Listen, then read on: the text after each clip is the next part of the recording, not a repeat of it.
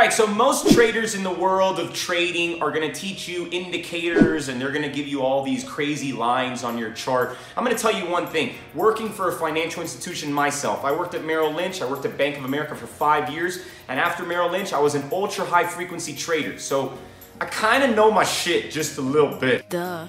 All right, and given the fact that I was able to see the other side, the opposite side, the, com the competition essentially, the enemy, the enemy. I was the enemy at one point, going against you, the retail trader, the one that right now I'm helping understand how those guys trade against you. You know what they use? You know what their secret weapon is?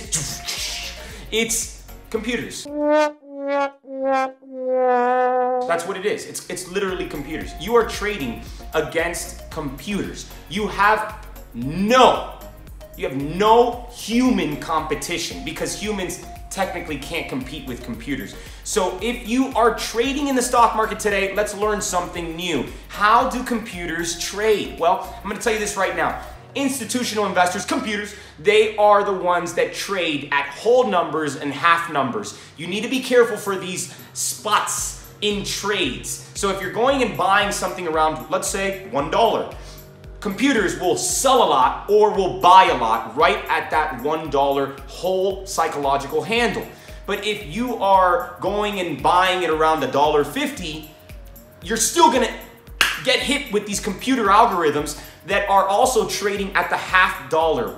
That's something you need to be very well aware of because if you're going and buying trades and you're like, well, I think this is a good time to buy, you're gonna be maybe buying in right at the time where a computer is also buying or selling and they could be dragging you for a ride.